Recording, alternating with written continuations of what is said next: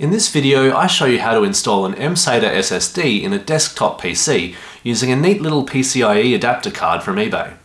There's an affiliate purchase link in the video description. If you have a spare mSATA SSD left over from a NUC, tablet PC or netbook upgrade or salvage, this is a cheap and easy way to give it new life in a desktop PC. This should work on any PCIe equipped motherboard, but on older boards your BIOS may not allow you to assign it as your boot disk. For this, you'll need an mSATA to PCI adapter kit.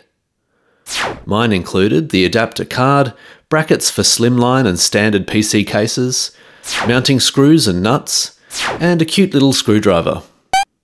You'll also need an mSATA SSD, a regular Phillips head screwdriver, and a desktop PC with an empty PCIe slot. This adapter can fit both full-size and half-size mSATA SSDs.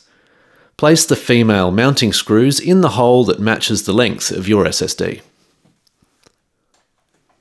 Insert the barrel part through the hole, then fasten the matching nut on the other side using your fingers.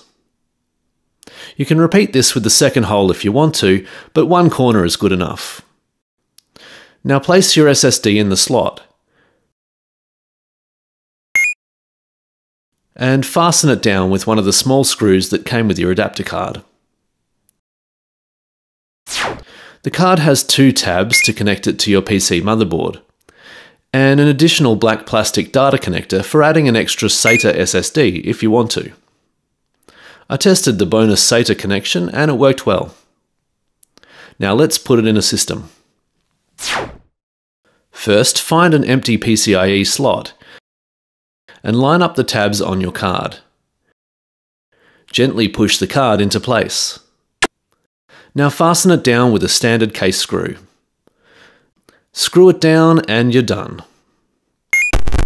Actually, we can do a bit better. Windows 10 detected my card and SSD right away, but performance improved after I installed some extra drivers. As of 2021, both ASMedia and Marvell drivers are available for Windows 10 online.